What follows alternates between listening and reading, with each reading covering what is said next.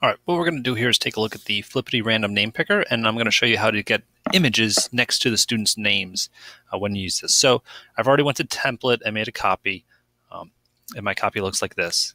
Right, and I put my name here, and I've already published this document. So you would go to File, Publish to the Web. I've already done that.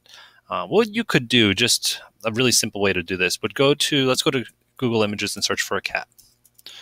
Right, I could just copy the image URL of this cat and so copy image address. And I could paste it in column B. And now when I go to the random name picker, all right, do that down here, you'll see a cat next to my name. Um, if I go to put myself in groups or to line up or something like that, there's that cat picture.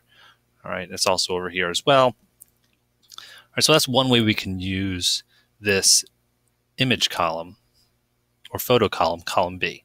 All right, another way we could use this, suppose we have another student in our class, and uh, you could do something with Bitmoji.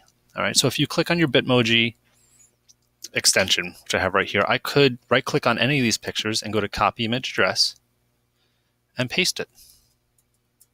All right, now let me refresh my random name picker and you will see that there it is. All right, I could do groups of two, and there's the cat picture, and then there's that Bitmoji. All right. Another way we could use this is with a Google Drawing. All right. Um, so here I have a Google Drawing, um, and kids could use this to make a like a class avatar or something like that. And what they'll do is go to File, they'll publish their drawing to the web and I, I already did this, so you hit publish. Copy this image URL. All right, so copy this URL to the published image, and then paste that in the spreadsheet. All right, now keep in mind, I didn't use this URL. I used the published drawing URL. All right, now when I update my Flippity here, you'll see that Lila has the same character on here. Keep in mind, kids can continue to update those photos and uh, change them however they want, and they would appear in the Flippity after a couple minutes. All right. A fourth way you could use the uh, image URL. Let's call let's do Piper, and I'm going to add an extra column, and I'm going to call this image row. All right.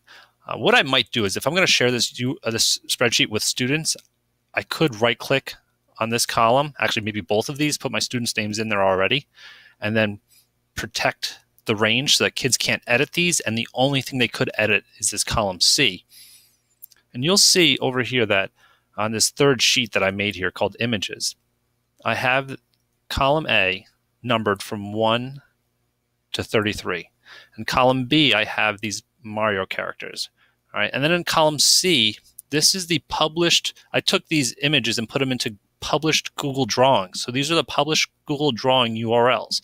And what a kid would do, um, I would lock these or protect these three columns so kids can't edit them. Uh, protect that range. Kids would come here and say, you know what? I want to be the coin. And so what they'll do is they'll put number one here to say they want row number one. And someone else might say, um, uh, you know what? I don't want to be the coin. I want to be uh, Birdo, uh, which is number seven there. All right. And these numbers would correspond to one of those pictures. What we'll do then in column B, let me get rid of these, we'll do a VLOOKUP to say, hey, you know what? Find the number one and put the URL right here in column B. All right, so this is how you do this. Equals VLOOKUP. And the first thing it's asking me for is the search key. So it's over here in column C. Search for the number one.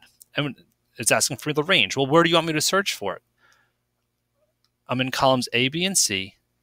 That's where I want you to search. When you find the number one, this is the index part. Once you find the number one, return the first, second, third row. I want you to return the third row. All right. And hit enter. So now, column one, when someone puts the image row here, they'll get that URL. All right. And you could just copy this, fill this down. Um, let's put in, I don't even know what these are, uh, 24 and 4. That's fine. All right, so that's just a simple VLOOKUP. Um, and now if I go to the random name picker, and I'll go to lineup, the question box coin, all right, and you can see those other Mario characters are there. All right, kids could then come back and they could change these. I could make this um, 18. All right, and there you see the change for Lila. All right,